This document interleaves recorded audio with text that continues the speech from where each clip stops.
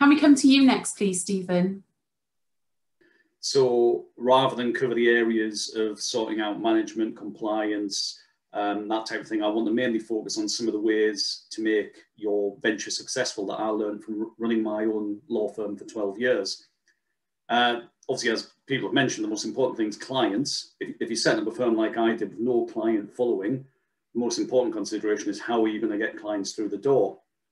So for myself, having worked in claimant and defendant personal injury, I decided to set up my own personal injury firm. Um, but I knew I couldn't compete with the large regional firms and certainly not the large national firms. So again, that main challenge was how do I get people through the door? I realized I had to offer something different and be more focused on the local community. And I spent a lot of time thinking about how my experience was when I was involved in an accident and my insurance company appointed a lawyer for me over 200 miles away, which was very handy. Um, obviously, I never saw the person dealing with my case. I very rarely was able to speak to them. Uh, and I more often than not get someone who knew absolutely nothing about my case. So the whole process felt like I was on a production line and I was a number, not a person. So using that experience and analysing how I and others felt when in this situation, I, I determined that my unique selling point was going to be to provide a more personalised service and incorporated that into my business plan to secure some funding from the bank. Um, this was back in the days when the banks actually gave me quite a nice sum of money without uh, any security, which I was quite surprised about, but, but there you go. Um, so my USP, um, really I had to determine how I went about delivering this more personalized service. The first and most important thing was that a client had to be able to speak to the person dealing with their case the majority of the time that they contacted the office. So, and on the odd occasion that the main case handler wasn't available, there would be a secondary contact that the client would be aware of right from the outset of their case. So if neither of those people were available, a client would be called back within two hours of the call as well, which I thought was important. So client communications clearly had to be compliant with all the various requirements uh, that were applicable, but could be put in more clearer and straightforward language. So I spent a lot of time ensuring letters were clear, easy to understand, and I asked clients specifically how clear communications were and what I could do to improve, improve them. So with the feedback from actual clients, I actually changed the letters over time. So part of the service was to continually improve by listening to clients and therefore every client received a feedback form at the conclusion of the case, which was very important. Uh, you always have to put yourself in the shoes of the client who perhaps in, in my business hadn't had an accident ever before uh, and is really relying on the lawyer to guide them through the process. So now that I had a plan to as to how I would deliver this great service. How could I actually let potential clients know I was there to help them? Um, so one of the big the big issues was was advertising and getting the message out there. So again, couldn't compete with compete with large firms. I didn't have simply didn't have the budget. Uh, so keeping things local was the obvious strategy. So I decided I was actually going to focus on a, a radius of 15 miles from my office, one five miles, so not very not very large at all. Uh, so in relation to advertising, the first step was a decent website, but back in 2004 when I set up, it was surprising how poor a lot of law firm websites were back then. Um, again, just made it very easy to understand and for clients to get some information rather than just telling people about me and about the firm, which, which is quite boring. Um, I also advertised via my local radio station, which was expensive, but, but at the time was worth trying. Um, but given the limited budget and my local focus, I also tried advertising in a local free magazine that used to come through the door every month. And it was the type of thing that I kept handy because it had numbers for plumbers, electricians, that type of thing. So I thought, well, if I keep it for, hand, for times that I need numbers, then other people will as well. And so on top of the, the paid advertising, um, I also identified some ways of getting some free advertising by writing articles for local magazines, uh, and I focus these on consumer issues that people might find useful. I also joined the local business networking group, which actually generated quite a lot of work as well. And all of this together with setting up IT, telephones, everything like that, the funds were going down very, very quickly, um, which, is, which is a common trait when you set up a new business. So, but the most important tip I give about advertising, because it's it can be quite expensive, is really carefully monitor where your clients find you because uh, that way you can actually see what works, what doesn't work, and then you can focus your budget on the areas that do.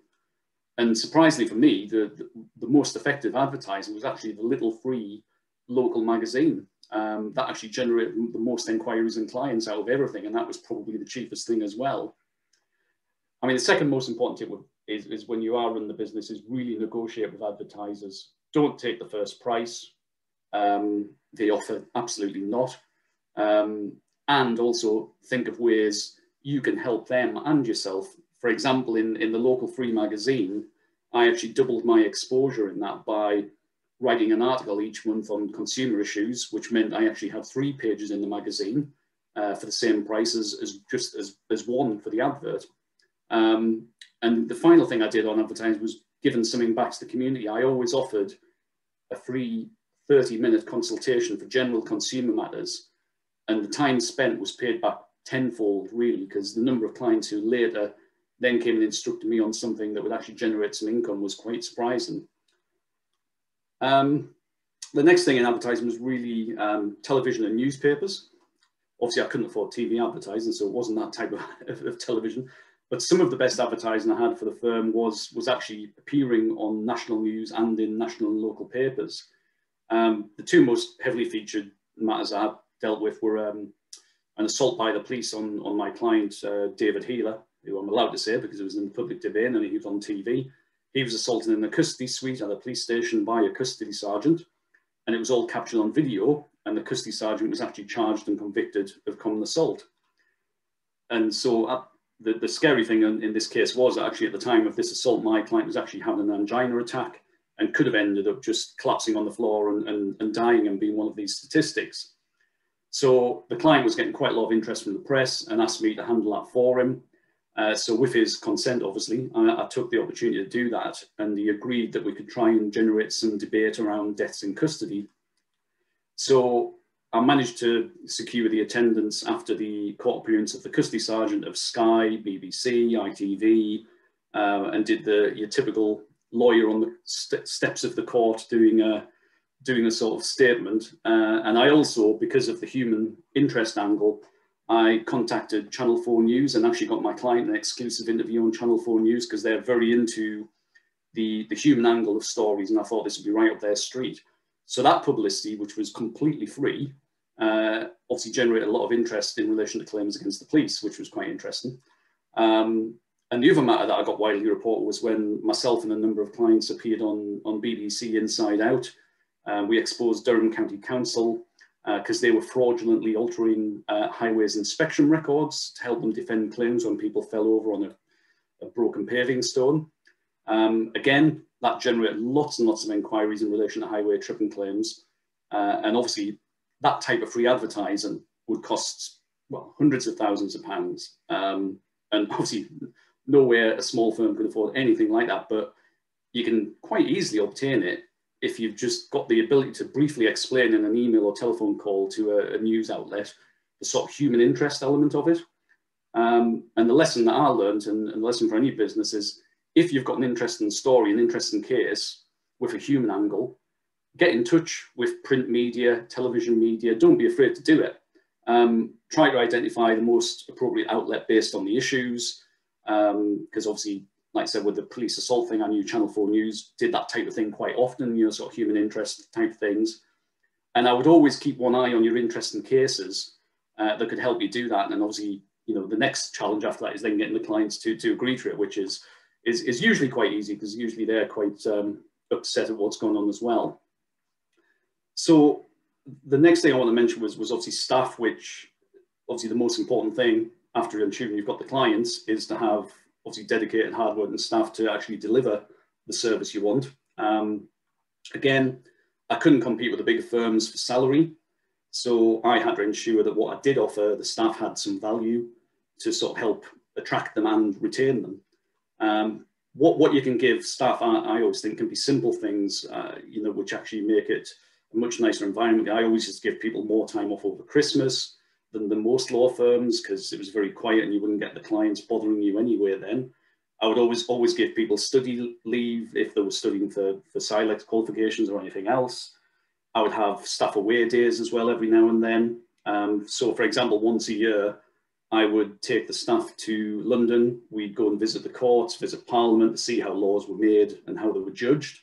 Uh, and obviously, very important part, but we'd obviously go out and see a show on the night and have a nice meal. So it was all a very nice, a nice trip. Um, so these were obviously something that staff really, really enjoyed, and it was obviously an excellent way to, to bond with staff away from the from the workplace, and helps ultimately with retention and making the you know the place the work a more pleasant place. Um, so I think it's it's it's when you, when you do have a firm, it's it's it's thinking of those simple things that don't cost a fortune, that make staff feel appreciated and happy, uh, and obviously then that should then translate into them doing a better job and giving better service to the clients, which is what you ultimately want. Um, I've got to mention cash flow. Everybody has, um, but because uh, obviously you will, like I, when when you set up from from nothing like I did, you'll spend a heck of a lot of money before any money comes in.